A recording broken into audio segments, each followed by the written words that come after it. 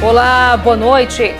Cinco casos suspeitos de hepatite aguda grave são investigados no Ceará. A doença ainda tem origem desconhecida e atinge principalmente as crianças. Mesmo com o fim da quadra chuvosa, Fortaleza amanhece mais um dia debaixo d'água. A Defesa Civil registrou 13 ocorrências e a previsão é de mais chuva nos próximos dias. Veja também: dois suspeitos do assassinato de um surfista em Fortaleza são presos. A polícia investiga possível esquema de corrupção e lavagem de dinheiro na prefeitura de Altaneira. 14 empresas estão sendo investigadas. 7 milhões de reais em contas foram bloqueados. Susto na Grande Fortaleza. Mulher simplesmente é engolida por um buraco que se abre no meio da calçada. E ainda a festa da torcida alvinegra depois da vitória sobre o Fortaleza pelo Brasileirão.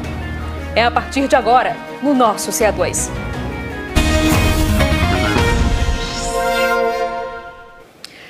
Isso, já estamos no ar, contando com a sua querida e sempre muito importante companhia. Seja muito bem-vindo, seja bem-vinda.